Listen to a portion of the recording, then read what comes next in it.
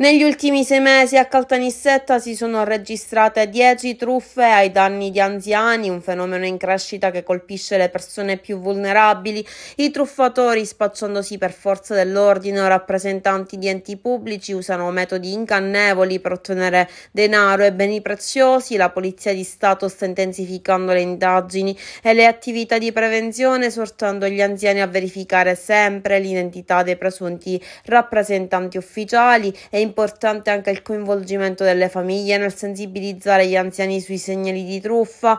Per ulteriori informazioni e consigli si invita a visitare il sito della Polizia di Stato.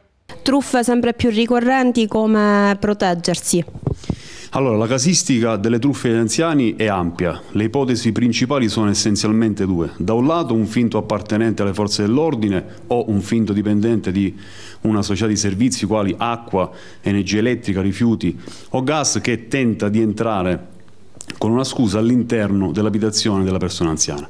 In secondo luogo succede spesso che un finto avvocato eh, preannuncia telefonicamente la necessità di pagare una somma di denaro ad un emissario che di lì a poco sopraggiungerà per risolvere un problema di salute o legale di una persona anziana. Come si possono prevenire queste truffe?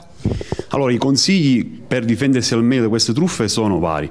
Anzitutto, quando si ha il sospetto su persone che vogliono accedere all'interno della propria abitazione, contattare immediatamente il numero unico di emergenza, tenendo presente che il più delle volte gli accessi delle società di servizi presso gli appartamenti sono preannunciati mediante affissione di appositi avvisi.